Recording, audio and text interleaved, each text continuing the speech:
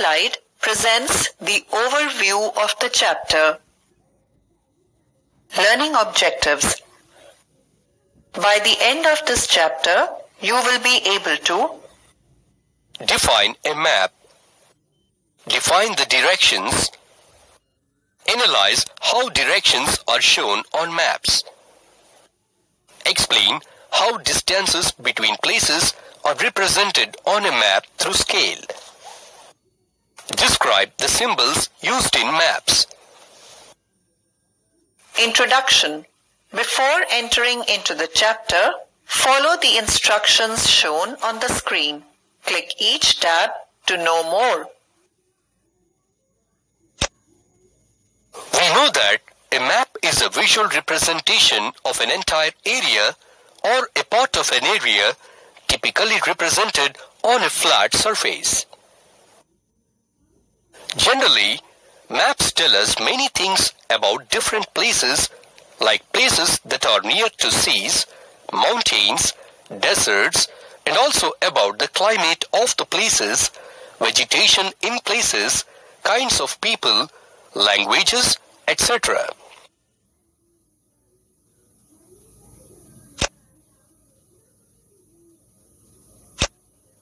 Do you know that there exist multiple maps for multiple uses?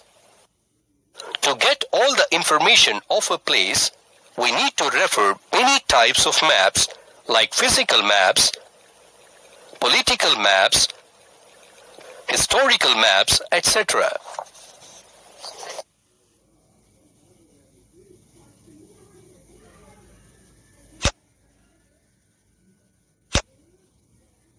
One can get many details about a place from maps.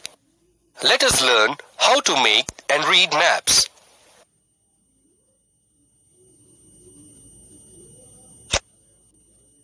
Let us start our learning by looking at a small conversation between two friends named Vani and Rani, who met at a science fair exhibition.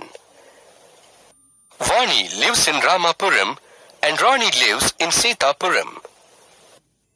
One fine day, Vani and Rani met at a science fair exhibition at Kottapalli and they both became good friends. Rani thought of visiting Vani's house someday, but she does not know the address of Vani's house from bus stand.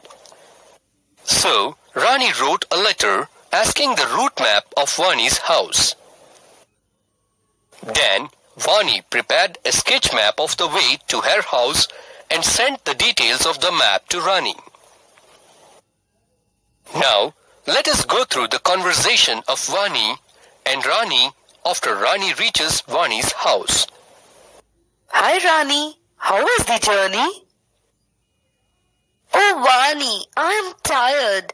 You have given the sketch map of your house, but you did not mention the distance in that sketch map. Your house is too far, and if I had known that before, I would have taken an auto. Oh, sorry Rani. I forgot to mention the distance in the sketch map. Anyhow, if you take an auto next time, please inform the driver that you have to reach South Ramapuram.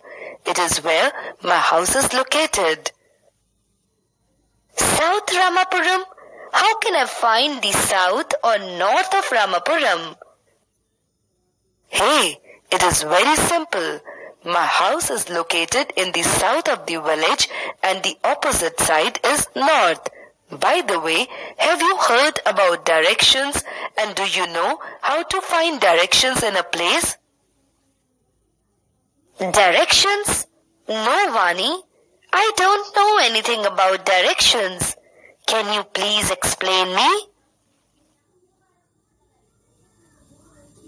Directions. The directions are very useful to us in our daily life. Example, when we want to go to an unknown area, we need to find directions to reach our destination. The four major directions are east, west, north and south. Commonly, the directions are denoted with their starting letters that is E, W and S. Generally, These four directions are known as cardinal directions or cardinal points. In the above picture, we observe that a man is facing the rising sun. From this hint, we can say that he is facing the east direction as sun rises in the east.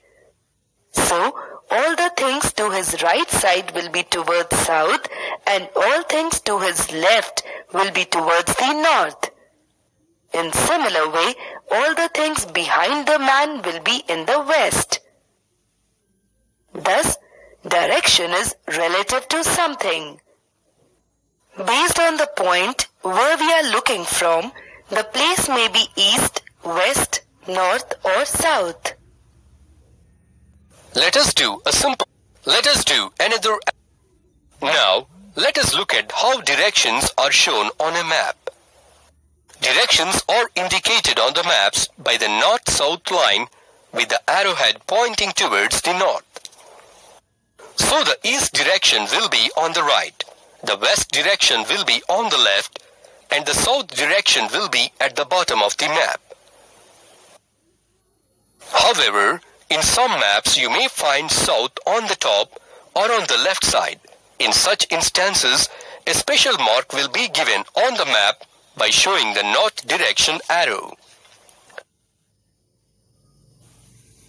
Now, let us look at the topic scale or distances on a map. In order to know how to show the scale or distance on a map, let us take an example of a bridge. Consider a bridge on which there are exactly six lamp posts. These lamp posts are placed at equal distance and the distance between each lamp post is 100 meters. Thus, the total length of the bridge is 500 meters. Now, if you want to represent the same scenario on paper, then you have to draw a sketch map of the bridge and the lamp posts. While drawing the sketch, the lamp posts must be drawn at equal distances and if you give the distance between each lamp post as 5 centimeters, then the length of the bridge on paper will be 25 centimeters.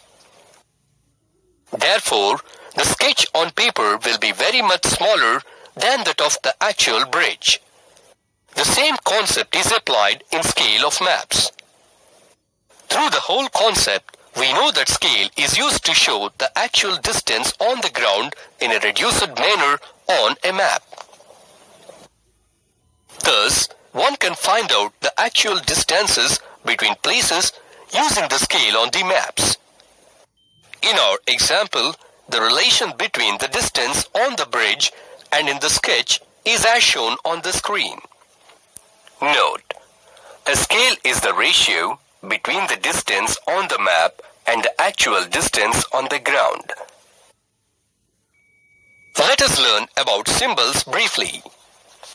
A map is a compact representation of the real world and map symbols are used to denote real objects.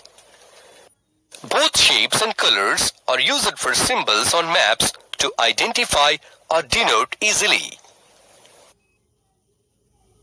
Generally, we observe colors on a map and these colors on map cover larger areas like green, forest area, blue, waterways. A person can understand the map clearly with the help of map legend and it is called as key to all the symbols that are used on a map. In map legend, we see the meanings of the symbols mentioned on the map. Know about the symbols used in maps in detail. We all know that maps are too small for us to draw pictures of the required things shown on them. For example, we cannot draw the real temple or a house as it needs more space on the map. So, with the help of symbols, we can show the required things on a map. Common symbols called conventional symbols are also used in maps. Follow-up work. Collect your district map from various sources like atlas, internet, magazines, newspapers, etc. to locate your village, famous temple in your district, your school and river. Prepare a map of your classroom by following these instructions. Find the four directions in your classroom by facing north. Draw a sketch map of the classroom with walls and location of the objects you want to show. Make an index of the symbols you have used in the map and also mention the scale. You have successfully completed the chapter